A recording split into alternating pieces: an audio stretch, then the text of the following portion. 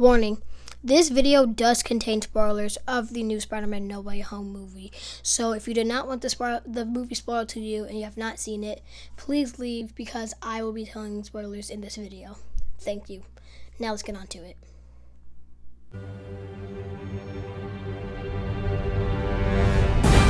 Okay, in the Spider-Man um, No Way Home movie, um, at the end of the film, they show Spider-Man going into a an apartment. And this is after he fights everyone, after Aunt May's death, and after he joins up with all the other two Spider-Mans. This is this is after all of that. He goes in, in, into an apartment. He buys himself an apartment, and then he makes himself a new shiny suit. And once I saw that suit, I immediately recognized it. That suit is the same exact suit from this PS4 Spider-Man um, game. And this got me thinking, what if, what if the MCU is trying to turn the Tom Holland Spider-Man into the PS4 Spider-Man? And if my theory is right, that means we're gonna get new villains and one more extra hero that I think we all know and love. That's right, Miles Morales.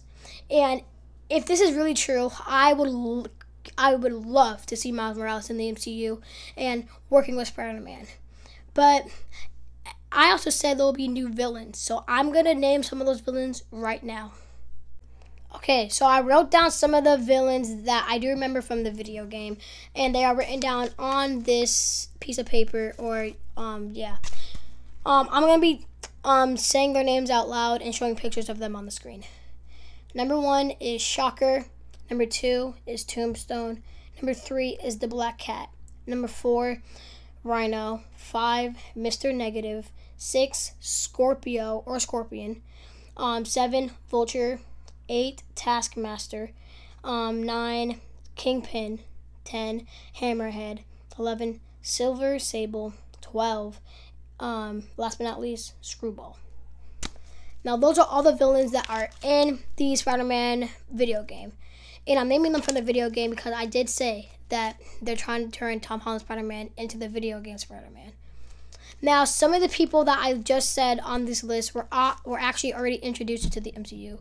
Some, such as Kingpin, if you watch the recent um, Hawkeye um, episode, Kingpin was introduced in in um that um last ep- that latest episode.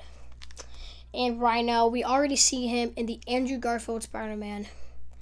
Shocker, um, Shockers, he's actually is in the Spider-Man Homecoming movie. He was one of Vulture's um like a little like a henchman or whatever. Speaking of Vulture, we already seen Vulture in Spider-Man: Homecoming, as I said, and Scorpio or Scorpion was also in Spider-Man: Homecoming's post-credit scene, and he will definitely be introduced into the MCU. And we've we've already seen Taskmaster in the Black Widow film that is on Disney Plus. You can actually go watch that on Disney Plus if you have it. And uh, I think that is it. I think that's all the villains that were already introduced.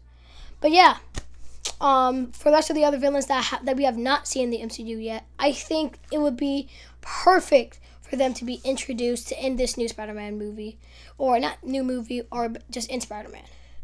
And if they're not introduced in Spider-Man, they will be introduced in something else, like Taskmaster was and Rhino was. Uh, but um, yeah. I hope you like this video and make sure you like, subscribe, turn on those post notifications so you get notified every time I post a video. For the next video, I will be posting um, um some, inf- some information about all of these villains and information about Miles Morales. Peace out. I hope you all have a lovely day and see you see you again.